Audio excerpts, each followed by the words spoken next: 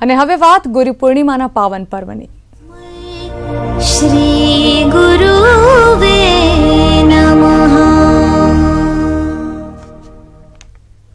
તો ગુરુ પૂર્ણિમાના પાવન દિવસે મુખ્યપ્રધાન વિજય રૂપાણીએ પાવાગઢની તળેટીમાં આવેલ નારાયણ ધામ તાજપુરમાં આંખની હોસ્પિટલનું લોકાર્પણ કર્યું. તાજપુરમાં આવેલ નારાયણ ધામમાં ઓગણીસો છોતેરની સાલથી કાર્યરત હોસ્પિટલમાં આંખના દર્દીઓની ફ્રીમાં સારવાર કરવામાં આવે છે. અત્યાર સુધી અગિયાર લાખ દર્દીઓની સારવાર કરવામાં આવી છે. હોસ્પિટલમાં હવે બસો પચાસ બેડની સુવિધા વધારવામાં આવી, જેના લોકાર્પણ માટે મુખ્યપ્રધાન વિજય રૂપાણી તાજપુર પહોંચ્યા હતા. આ નારાયણ આઈ હોસ્પિટલમાં આંખની તકલીફ માટે આવતા દર્દીઓની નિઃશુલ્ક સેવા કરવામાં આવે છે.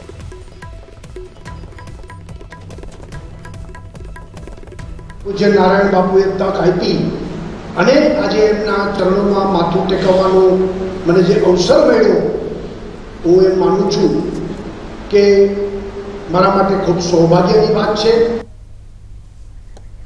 તો ગુરુ પૂર્ણિમાને લઈને યાત્રાધામ અંબાજીમાં ભક્તોનું ઘોડાપુર ઉમટ્યું. ચંદ્રગ્રહણના કારણે મંદિર વહેલું બંધ થવાનું હોવાને કારણે મંદિરમાં સવારથી જ ભક્તોની કતાર જોવા મળી.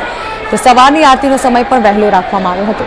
ચંદ્રગ્રહણની સીધી અસર ધાર્મિક પૂજા અર્ચન વિધિ ઉપર થતી હોવાથી સાંજની આરતી પણ બપોરે પોણા બાર કલાકે કરવામાં આવી હતી.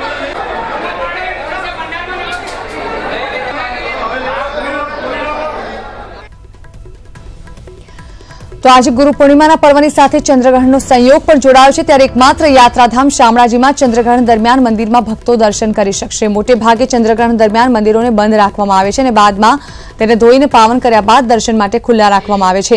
પરંતુ શામળાજી ગ્રહણ દરમિયાન દેવ દર્શન આપતું ગુજરાતનું એકમાત્ર મંદિર છે. ગ્રહણકાળ દરમિયાન ભગવાન સન્મુખ જપ તપ કરવાથી સો ગણું પુણ્ય મળતું હોવાની માન્યતા છે. તેથી ગ્રહણના દિવસે મંદિરમાં ભક્તો ઉપાસના કરવા માટે આવતા હોય છે અને તેમાં પણ આજે ગુરુ પૂર્ણિમા અને ચંદ્રગ્રહણનો સંયોગ હોવાથી ભક્તિ અને ઉપાસનાનું મહત્વ વધી ગયું છે. તેથી વહેલી સવારથી જ યાત્રાધામ શામળાજીમાં ભક્તોનું ઘોડાપુર ઉમટી રહ્યું છે.